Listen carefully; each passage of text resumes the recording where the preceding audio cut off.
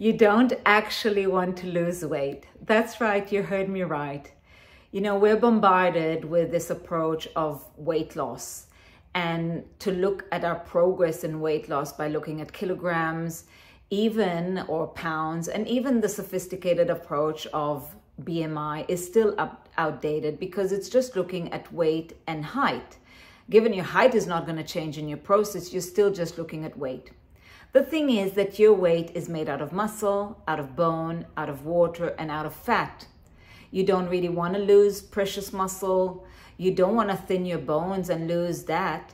So really, when you look at what you want to lose, you see muscle weighs twice as heavy as fat.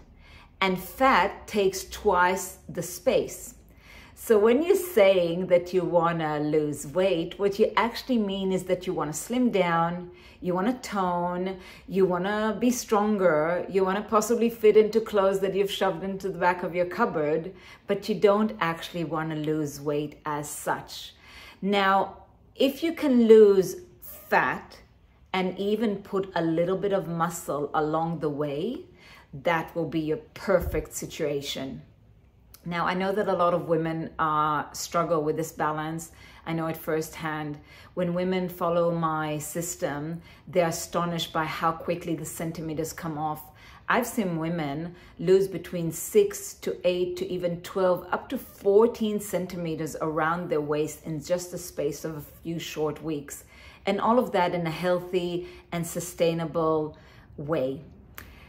So I'd love to invite you to hear more about my four step system in a masterclass that I'll be offering. It's called Four Steps to Holistic Weight Loss. The comments are below. Well, you learn, you learn what to eat, what exercises to do, and how to achieve that goal. So the, the link to register is in the comment below, and I look forward to uh, seeing you at the event. Let's take this journey together to a slimmer, stronger, and more vital you. Bye.